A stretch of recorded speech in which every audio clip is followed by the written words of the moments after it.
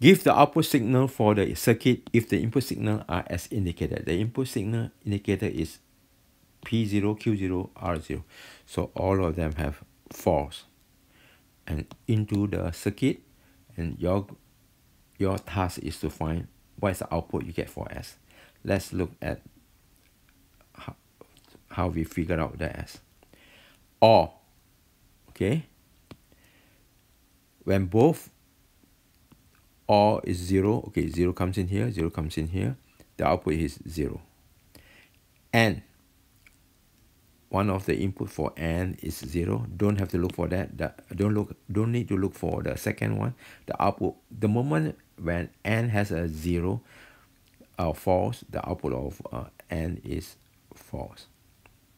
Now this false, uh, this 0 goes into the NOT, you become a 1. So here it comes out as 1. The moment when OR is 1, the output here is 1. So the answer for that is with this input of 0, 0, 0, you get an output of 1. Done. Thank you for watching. Hope video is informative and helpful. Before you go, make sure you subscribe, share, comment, and don't forget to hit or smash the like button. Cảm ơn. Selamat. Terima kasih.